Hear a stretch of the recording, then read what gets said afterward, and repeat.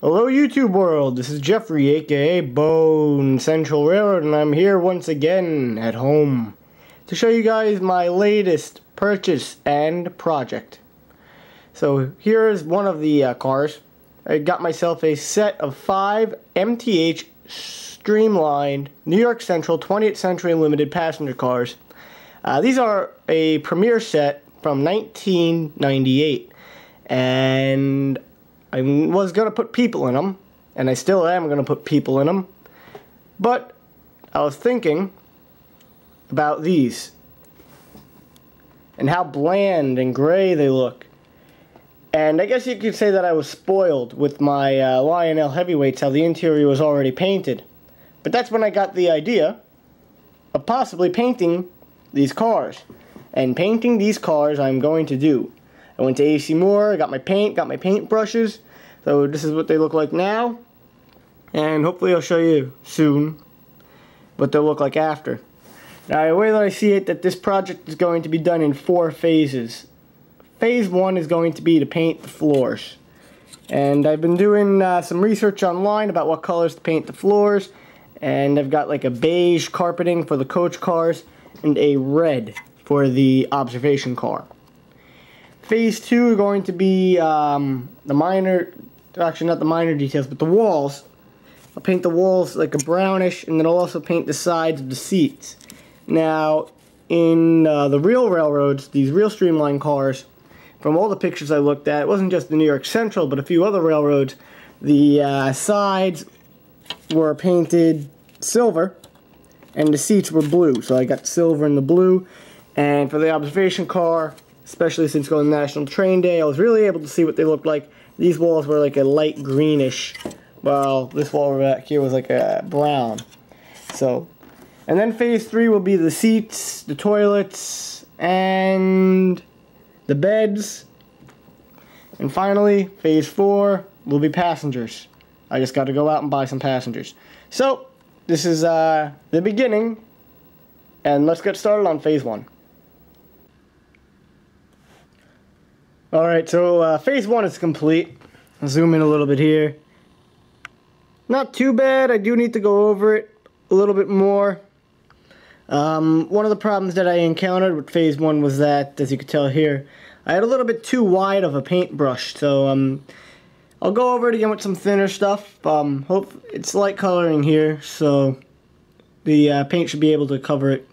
If not, I have white paint, so I'll paint it white, paint over it white, and then I'll go to the next color which would be brown here, dark brown. As for the uh, observation car, yeah, thin brush would have came real handy here, but otherwise it doesn't look all that terrible. So I got a thin brush, so let's see if I could, uh, here we go. Yeah, nice thin brush. It'll be able to get into some of those cracks and crevices, especially here, where I wasn't able to get so much because you need a little bit of a thinner brush. But I got a thin brush, so we'll be able to take care of everything. Um, all these walls here are going to be a brownish color, like a wood color. And here, just like the real observation cars, it's going to be like a turquoise color on the wall, just like the uh, real Pullman cars of the day. Not the Pullman, the observation cars. Going to National Train Day helped me a lot, helped me out big time because I was actually able to see all the different colors used in the rail cars. So I'm going to try to stick to that. Um, after that, I'm going to paint the uh, sides of the seats here. The side of the seats are going to be like a silver color, and the seats themselves are going to be blue. So, let's get the phase two. Alright, phase two is complete. I didn't sound too happy about phase one or enthusiastic about it for listening back at it, but um, now that it's got more color, it looks so much better. As you can see, I got the turquoise for the walls here, and the Pullman, and the uh, sleeping part, the observation car. I got the brown walls. It'll go. I'll have to go over it again with a second coat. So um, it's just temporary. I tried painting the sides of the seats silver just to cover up some of the mistakes in the paint, but uh, you could tell. But I mean, the silver is pretty much the same thing as what the uh, they came in. So it is what it is. But I'm not complaining. So like I said, I painted the backs of the seats here and the arms of the seats here and the uh, car brown. Everything here is brown, so now I'm gonna go paint the actual seats themselves and all the other little details like the uh, benches and the seats in here or the beds. Everything here, the toilets, the sinks, they gotta be painted. So that's now. So let's get to it.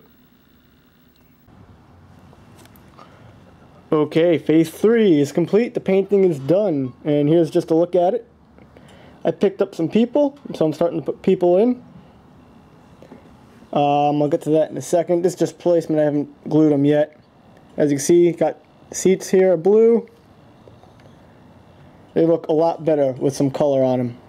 Got white in the bathroom for the uh, sinks and the uh, toilet. And I got this one guy here. He's supposed to sit against the wall or something, but um, there's no wall to put him against, so I figured I'd just throw him in the bathroom waiting to uh, use the facilities, since he looks anxious too. And I'll put him near the window so people could see. Although no one will really see, but um, observation car, red, some white, got the seats painted, people sitting in them, getting ready to go. So, once I put the people in, I'll put the shells back on, and the 20th Century Limited will be ready to roll.